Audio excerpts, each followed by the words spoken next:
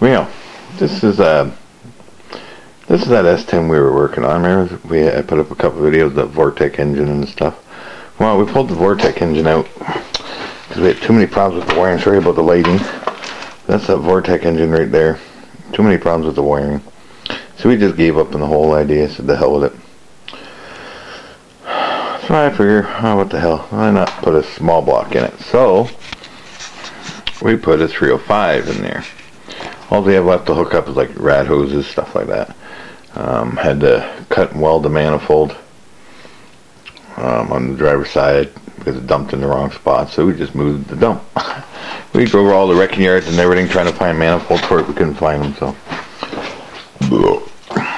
So, went and picked up some nickel rod, did some welding, but yeah, she's running. It's drivable right now, just like I said, just gotta get the rad hoses, upper and lower rad hoses on. Um, and because we had to modify a lot of stuff in the front, we no longer have the uh, hood latch or anything like that because electric fans and everything in there. So what we're going to do is put the hood pins in.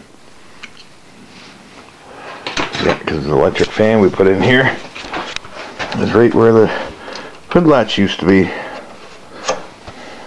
Yep. So, yep, we're working on that. Um, an update on uh, 72 while we're still I haven't done anything to it because I've been so busy with this. Um, I bought another truck. I got the old, uh, remember in some of my videos had the mud duck.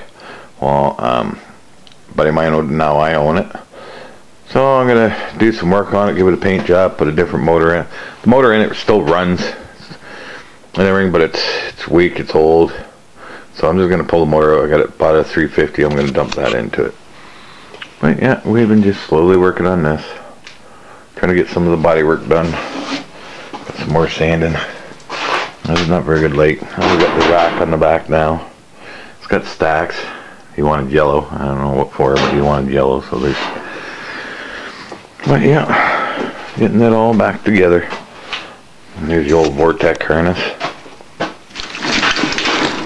Yeah, so if nobody wants a, a good running engine, it runs good and everything, it's just no, it doesn't knock tap or smoke or anything like that. Just we couldn't figure out the wiring, so somebody had a Vortec um, and uh, vehicle with, with the V6 4.3, it would bolt right in and run no problem.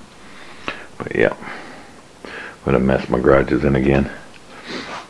Uh, we got to install amps and subs stuff yet. So we're just slowly working on it.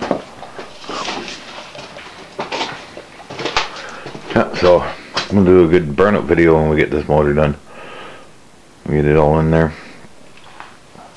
Get it running, get it movable. There's another go it. Hmm. But anyways, we'll talk to you guys later.